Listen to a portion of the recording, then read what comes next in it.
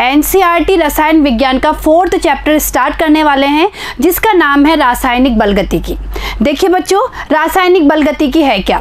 ये कहा जाता है कि रासायनिक बलगतिकी रसायन विज्ञान की वह शाखा है जिसके अंदर किसी अभिक्रिया के वेग तथा वेग को प्रभावित करने वाले कारकों का अध्ययन किया जाता है।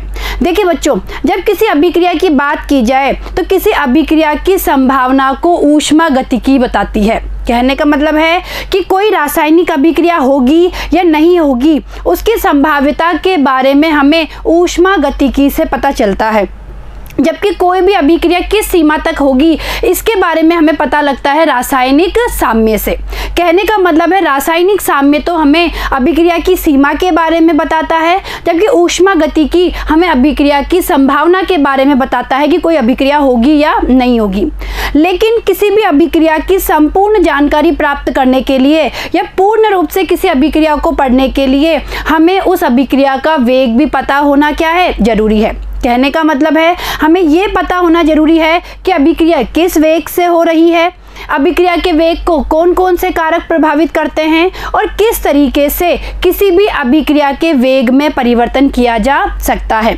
और इसीलिए हम लोग रासायनिक बल गतिकी का क्या करते हैं, अध्ययन करते हैं। हैं तो देखिए बच्चों रासायनिक बल गतिकी रसायन विज्ञान की वह शाखा है, जिसमें अभिक्रिया के वेग वेग को प्रभावित करने वाले कारक तथा अभिक्रिया की क्रिया विधि का अध्ययन किया जाता है। अभी मैंने आपको बताया, वे किस किस का अध्ययन करेंगे? अभिक्रिया के वेग का, वेग को प्रभावित करने वाले कारकों का तथा अभिक्रिया की क्रिया विधि का।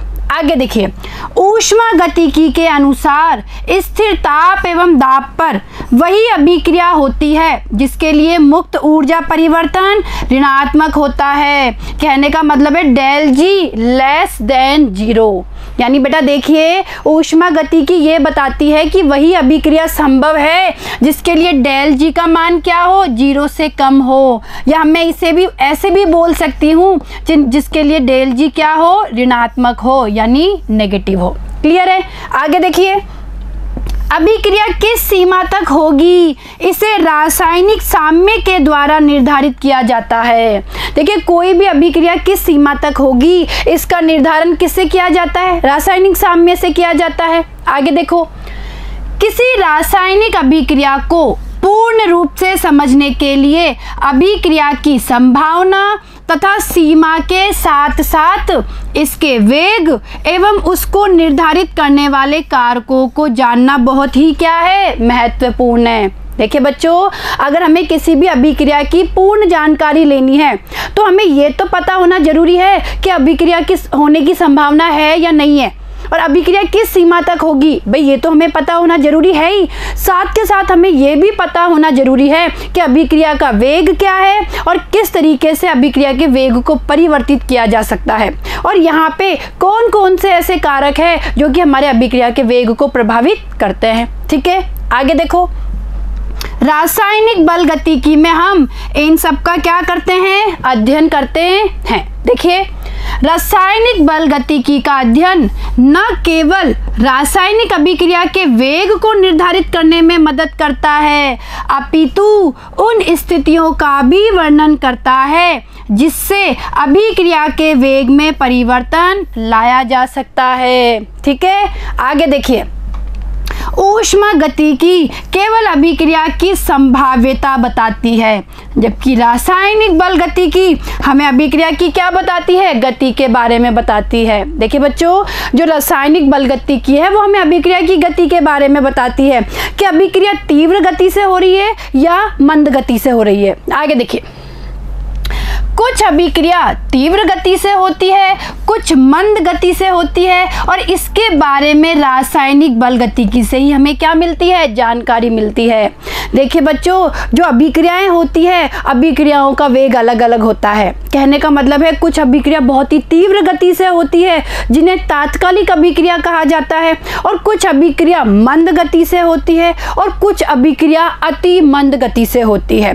तो इस तरीके से किस अभिक्रिया का का वेग क्या है? इसके बारे में जो हमें जानकारी मिलती है, वो किससे मिलती है? रासायनिक बल गतिकी से क्लियर है? अब देखिए, इसके बारे में मैं आपको कुछ समझाना चाहती हूँ। ऊष्मा गति की तथ्य ये कहते हैं कि जो हीरा है, वो धीरे धीरे ग्रेफाइट में क्या होता है? बदल जाता है। कहने का मतलब है, हीरे का ग्रेफाइट में परिवर्तन हो जाता है, या हीरा ग्रेफाइट में बदल जाता है, और ये जो परिवर्तन है, ये एक ऊष्माक्षेपी परिवर्तन होता है। लेकिन ये जो परिवर्तन है, यानी कहने का मतलब है, हीरा जो ग्रेफाइट में बदलता है, ये जो क्रिया है, ये इतनी धीमी गति से होती है कि हम इसको प्रेक्षित नहीं कर पाते। हम ऑब्ज़र्व नहीं कर पाते, और हम ये सोचते हैं कि जो हीरा है, वो सदैव ही क्या है? हीरा रहेगा, या हीरा सदैव के लिए है। लेकिन ऐसा नहीं है। तो ये हमें कैसे पता लगता है कि अभिक्रिया मंद है, तीव्र है या अति मंद गति से हो रही है? ये हमें पता लगता है रासायनिक बल गतिकी के अध्ययन से। और इसीलिए बच्चों, हमें रासायनिक बल गतिकी का अध्ययन करना क्या है? आवश्यक है। क्लियर है?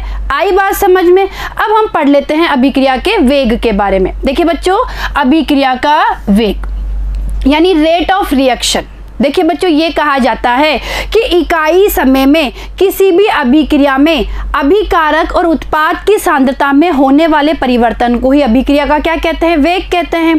कहने का मतलब है, जब कोई अभिक्रिया चलती है तो धीरे धीरे क्या होता है? अभिकारक की सांद्रता तो कम होती जाती है और उत्पाद की सांद्रता क्या होती जाती है? बढ़ती जाती है। क्लियर है?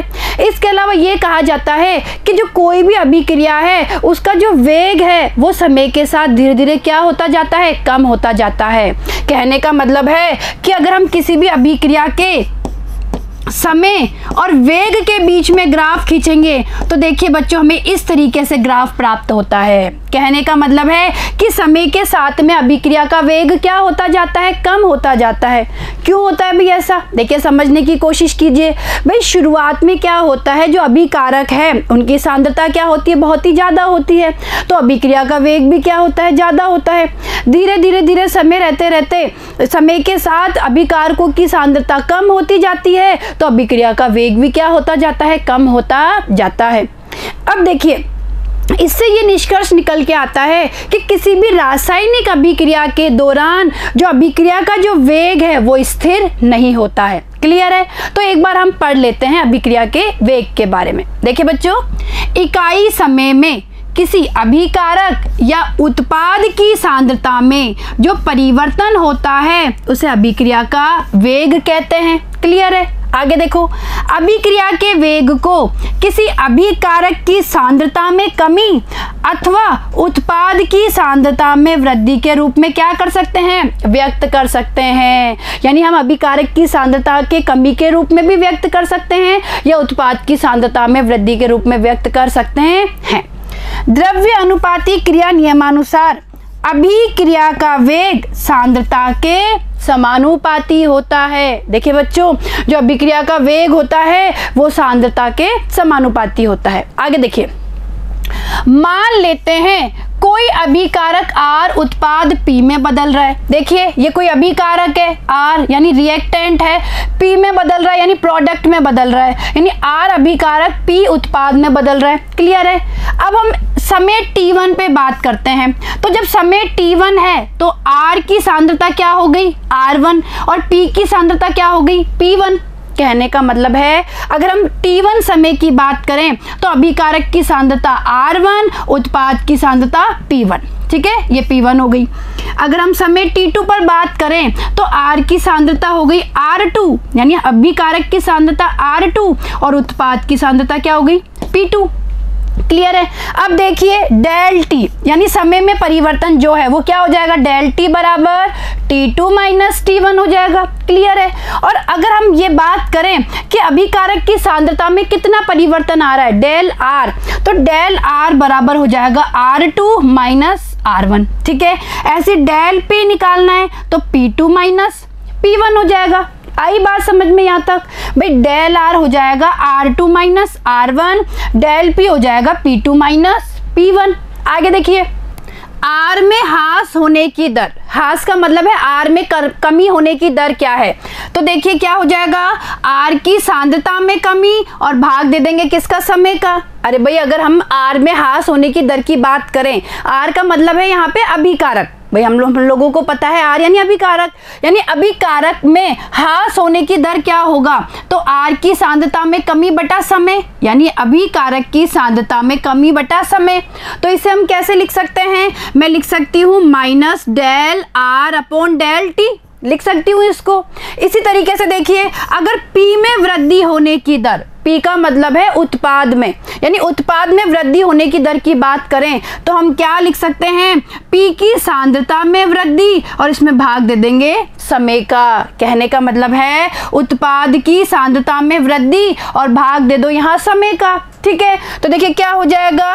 Plus del P upon del T हो जाएगा। क्लियर है? तो देखिए, ये तो हमने बात की आर में हास होने की दर। हास यानी कमी। यानी आर में कमी होने की दर है, ये पी में वृद्धि होने की दर है। क्लियर है? अब देखिए बच्चों, यहाँ पे ये जो माइनस और ये जो प्लस का चिन्ह है, ये हमें क्या दर्शाता है? ये हमें सांद्रता में कमी या वृद्धि को दर्शाता है। तो देखिए बच्चों, यहाँ ऋणात्मक तथा धनात्मक चिन्ह सांद्रता में कमी तथा वृद्धि को दर्शाते हैं। क्लियर है? भैया जो यहाँ पे ऋणात्मक और धनात्मक का चिन्ह है, ये क्या दर्शा रहे हैं? ये यहाँ पे सांद्रता में कमी को या सांद्रता में वृद्धि को प्रदर्शित कर रहे हैं। क्लियर है? आगे चले। चलिए, आगे क्या है? समय के साथ अभिकारकों की सांद्रता घटती है, तथा उत्पाद की सांद्रता बढ़ती है। ये मैंने आपको बताया है। अभी अभी हमने बात की है कि जैसे जैसे समय बीतता है, अभिकारकों की सांद्रता में कमी आती जाती है और उत्पाद की सांद्रता बढ़ती जाती है। देखिए हमें ये ग्राफ प्राप्त होगा जब हम समय के और सांद्रता के बीच में ग्राफ खींचते हैं, ठीक है? यानी एक्स एक्सिस पे हम लोगों ने ले लिया समय वाई एक्सिस पे हम लोगों ने ले लिया सांद्रता। जैसे जैसे समय बीतता है, अभिकारकों की सांद्रता में क्या आ रही है? कमी आ रही है। यानी हमें ये ग्राफ प्राप्त होगा, देखो अभिकारकों के लिए।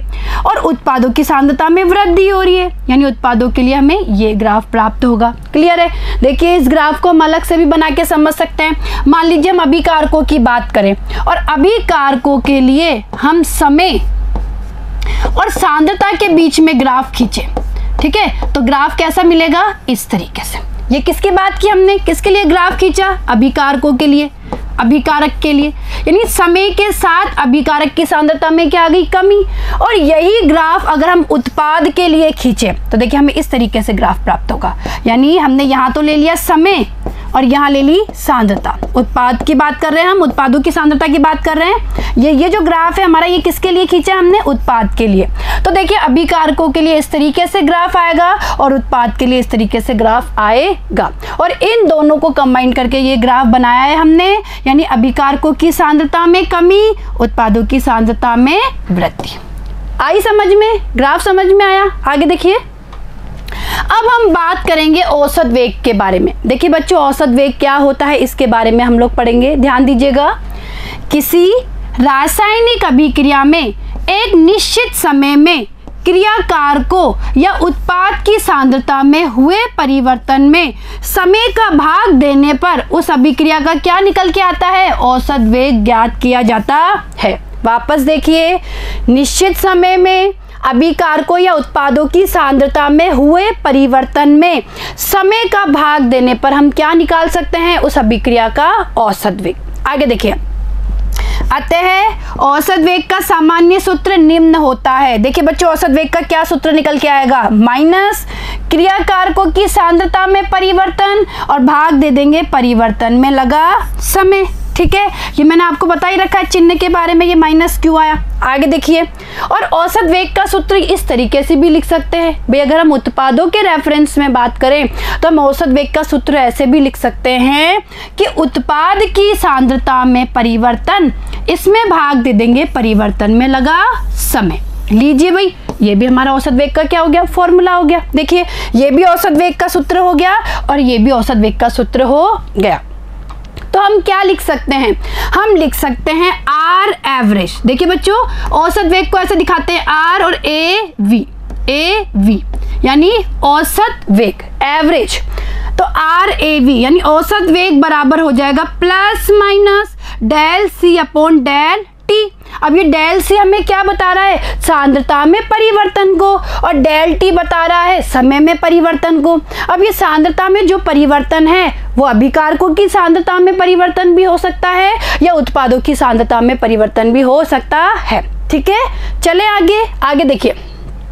अब देखिए बच्चों, जो ये ग्राफ है, इस ग्राफ की सहायता से भी हम क्या कर सकते हैं? हम जो औसत वेग है वो ज्ञात कर सकते हैं। देखिए, ध्यान दीजिएगा, अगर हम समय और अभिकारकों की सांद्रता के बीच में ग्राफ खींचे तो आप लोगों को पता है इस तरीके से हमारा ग्राफ आता है। आता है ना इस तरीके से ग्राफ हम लोगों ने पढ़ा है? तो इस ग्राफ की सहायता से भी हम औसत वेग को क्या कर सकते हैं? ज्ञात कर सकते हैं। देखिए बच्चों एक्स एक्सिस पे हम लोगों ने लिया है समय को और वाई एक्सिस पे हम लोगों ने लिया है अभिकारकों की सांद्रता को। जब समय ज़ीरो है, जब टी क्या है? ज़ीरो। जब टी बराबर ज़ीरो है तो सांद्रता क्या है? R zero. ठीक है? आर ज़ीरो और इसको हम कह सकते हैं कि ये क्या है? प्रारंभिक सांद्र का सांद्रता को प्रदर्शित कर रहा है। किसको प्रदर्शित कर रहा है ये? प्रारंभिक सांद्रता को। अब देखिए बच्चों, एक चीज़ यहाँ समझ लो, जो आपको ये ब्रैकेट में आर और ये बड़े ब्रैकेट में पी दिखाया गया है, इसका मतलब ये बात हो रही है सांद्रता के बारे में।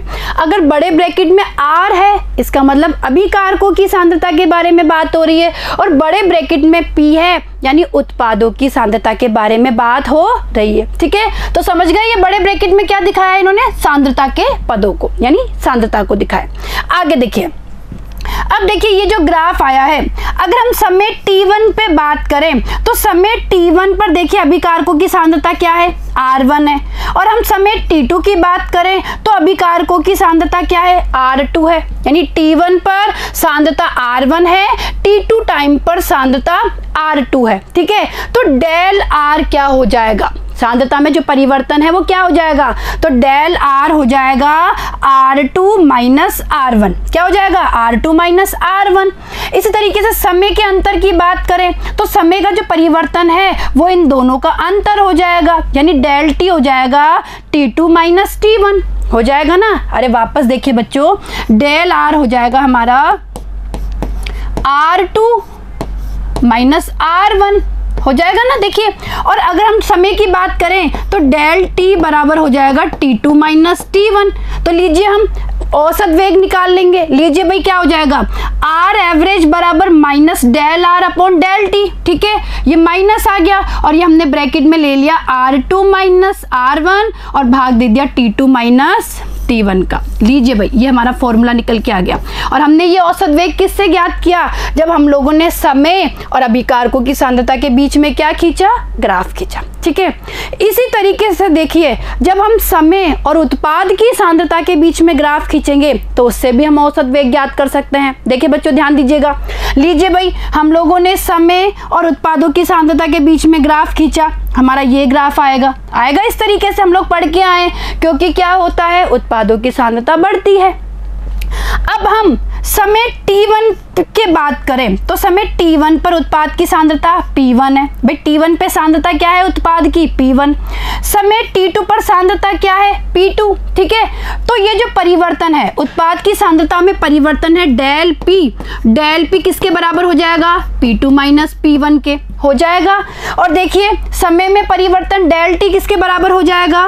डेल टी बराबर हो जाएगा T two minus T one के। और अब हम औसत वेग निकाल लेंगे। देखिए तो हमारा औसत वेग किसके बराबर होगा? Del P upon del T के। लीजिए भाई, इसको हम क्या लिख सकते हैं? P two minus P one और भाग दे दिया हमने T two minus T one का। क्लियर है? आई बात समझ में? तो देखिए, हम लोग इस तरीके से ग्राफ खींचकर औसत वेग ज्ञात कर सकते हैं। आगे देखिए। अब बात करेंगे तात्क्षणिक वेग की। देखिए तात्क्षणिक वेग क्या होता है? किसी क्षण पर अभिक्रिया का वेग क्या है? उसे हम लोग तात्क्षणिक वेग कहते हैं। देखिए बच्चों, किसी अभिक्रिया में निश्चित क्षण पर वेग को तात्क्षणिक वेग कहते हैं।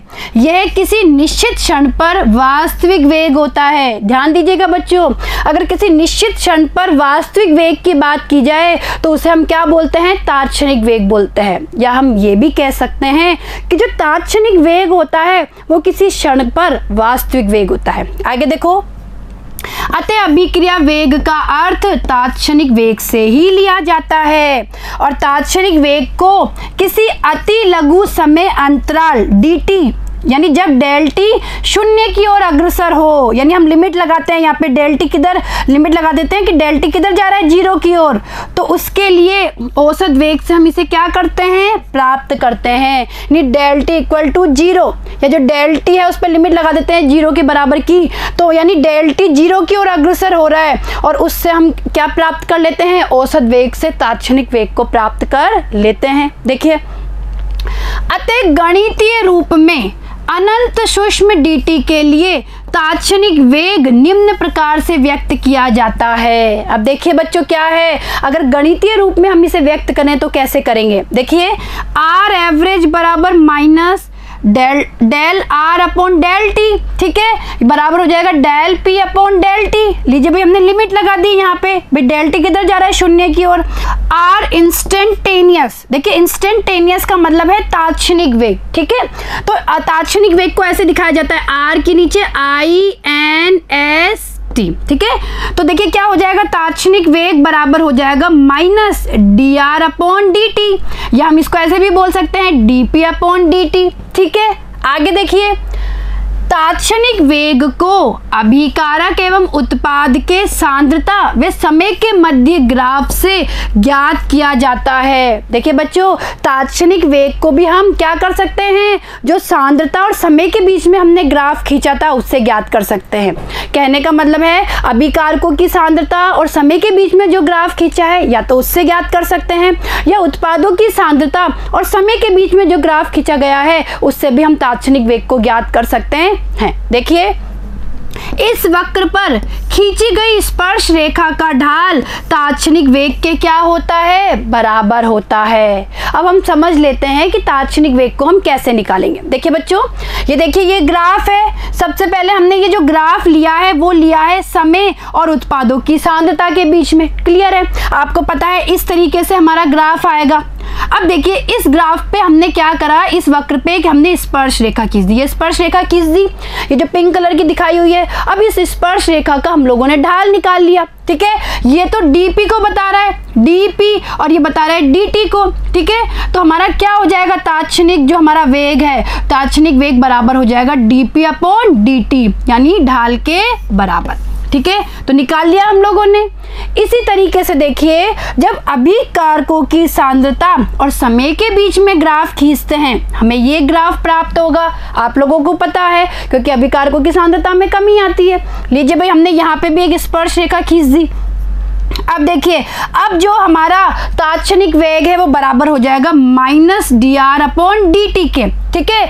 यानी जो अब हमारा तात्क्षणिक वेग है वो माइनस ढाल के बराबर होगा। लीजिए भाई, देखिए, हमारा तात्क्षणिक वेग क्या होगा? Minus D R upon D T यानी बराबर माइनस ढाल के। क्लियर है? तो देखा आप लोगों ने कि हम लोगों ने क्या किया?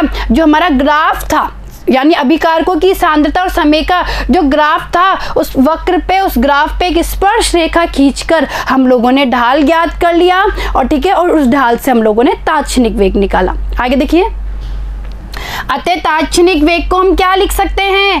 Plus minus D C upon D T यहाँ डीसी क्या है? सांद्रता में अनंत सूक्ष्म परिवर्तन। डीटी क्या है? अनंत सूक्ष्म समय अंतराल। क्लियर है? अब देखिए, वेग की इकाई क्या होती है? देखिए बच्चों, वेग की इकाई होती है सांद्रता समय इनवर्स अरे भाई, यहाँ से देखिए ना, भाई वेग क्या है? सांद्रता में परिवर्तन बटा समय, ठीक है? तो देखिए, ऊपर सांद्रता, नीचे समय तो ये निकल के आ गया सांद्रता समय इनवर्स अब देखो, यदि सांद्रता को मोल पर लीटर में, यानी मोल लीटर इनवर्स में लिया जाए, ली जाए सांद्रता तथा समय सेकंड में लिया जाए तो वेग की इकाई क्या हो जाएगी? Mole litre inverse second inverse या इसको ऐसे भी बोल सकते हैं, मोल पर लीटर पर सेकंड तो देखिए बच्चों, ये हमारी क्या निकल के आ गई? ये हमारी वेग की इकाई निकल के आ गई है. क्लियर है? आगे देखिए. अब देखिए, हम अभिक्रिया से समझ लेते हैं कि किसी भी अभिक्रिया के लिए हम वेग कैसे निकालेंगे। देखिए, ये कोई अभिक्रिया है जिसमें ए और बी अभिकारक है जो सी और डी उत्पाद में बदल रहे क्लियर है? ये दो अभिकारक है, एक ए एक बी दो उत्पाद है सी और डी अब देखिए, हम किसी की सहायता से भी यहाँ पे अभिक्रिया के वेग को निकाल सकते हैं। तो देखिए, अभिक्रिया का वेग क्या होता है? अभिक्रिया का वेग बराबर minus D A upon D T या अभिक्रिया का वेग बराबर minus D B upon D T या हम ऐसे भी बोल सकते हैं, अभिक्रिया का वेग बराबर D C upon D T या हम ऐसे भी बोल सकते हैं, अभिक्रिया का वेग बराबर डी डी अपॉन डी कहने का मतलब है, हम इन चारों में से किसी भी तरीके से अभिक्रिया का वेग निकाल सकते हैं। कहने का मतलब है, इन चारों में से अगर हमें किसी की भी सांद्रता दी हुई है, या सांद्रता में परिवर्तन दिया हुआ है, और समय में परिवर्तन दिया हुआ है किसी का भी, या तो ए बी इन दोनों में से किसी का, या सी डी इन दोनों में से किसी का तो हम क्या कर सकते हैं? अभिक्रिया के वेग को ज्ञात कर सकते हैं। क्लियर है? चलिए भाई, हम एक अभिक्रिया और देख लेते हैं। देखिए, एक अभिक्रिया ये है M one A plus M two B इससे बन रहा है N one C plus N two D ठीक है? देखिए बच्चों एम वन एम टू और एन वन एन टू क्या है ये? स्टाइक्योमीट्री गुणांक है, ठीक है? अब देखिए, यहाँ पे ये तो है अभिकारक, ये क्या है उत्पाद अब हम क्या लिख सकते हैं अभिक्रिया के वेग को? अभिक्रिया के वेग को लिखते समय हम स्टाइक्योमीट्री गुणांक का क्या दे देंगे? भाग दे देंगे। तो देखिए बच्चों, हम लिखेंगे minus one upon M one, D A upon D T. या हम ऐसे भी लिख सकते हैं वेग को, minus one upon M two, D B upon D T. या हम वेग को ये भी लिख सकते हैं, one upon N one, D C upon D T. या हम वेग को ये भी लिख सकते हैं, one upon N two, D D upon D clear है? यानी हम इन चारों में से किसी भी तरीके से अभिक्रिया के वेग को ज्ञात कर सकते हैं। आगे देखिए।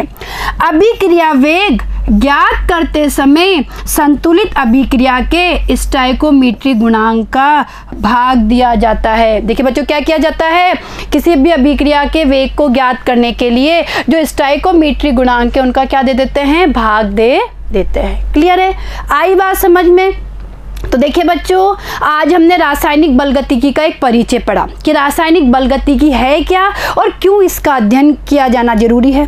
साथ ही साथ हम लोगों ने अभिक्रिया के वेग के बारे में पढ़ा, औसत वेग के बारे में पढ़ा तात्क्षणिक वेग के बारे में पढ़ा और और ये देखा कि किस तरीके से हम अभिकार को या उत्पादों की सांद्रता और समय के बीच में ग्राफ बनाकर औसत वेग और तात्क्षणिक वेग को ज्ञात कर सकते हैं। क्लियर है? ये आपको समझ में आया होगा आज का टॉपिक अब इससे आगे के जो टॉपिक है, वो हम लोग हमारे अगले वीडियो में पढ़ेंगे। ठीक है?